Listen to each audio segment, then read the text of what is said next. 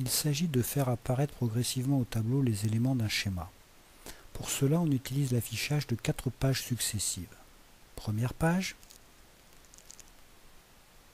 deuxième page, troisième page, quatrième page et cinquième page. On lance Interite Workspace et on crée une nouvelle page. On commence par construire le schéma complet. Pour cela, on prend l'outil Forme, on choisit un rectangle dont on modifie la couleur de contour en choisissant un noir, la couleur de remplissage un jaune.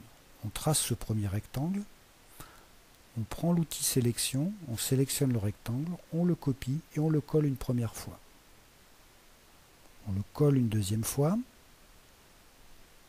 puis une troisième, et enfin une quatrième fois. On sélectionne le deuxième rectangle et on modifie sa couleur de remplissage en choisissant un rouge. On choisit un vert pour le troisième rectangle, un bleu pour le quatrième et un orange pour le cinquième. Pour dupliquer la page, on ouvre la trieuse de pages. On sélectionne la vignette de la page et on choisit la commande Créer une page dupliquée. On répète cette opération trois autres fois. Le logiciel se place automatiquement sur la dernière page dupliquée, ici la page 5. On double-clique sur la vignette de la page 4 pour la sélectionner, on supprime le rectangle orange,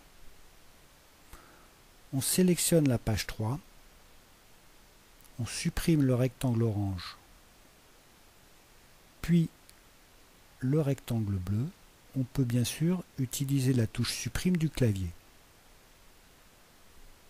Dans la page 2, on supprime les rectangles orange, bleu et vert. Et enfin, dans la page 1, on ne laisse que le premier rectangle, le rectangle jaune. On sauvegarde son fichier d'annotation dans son espace de travail.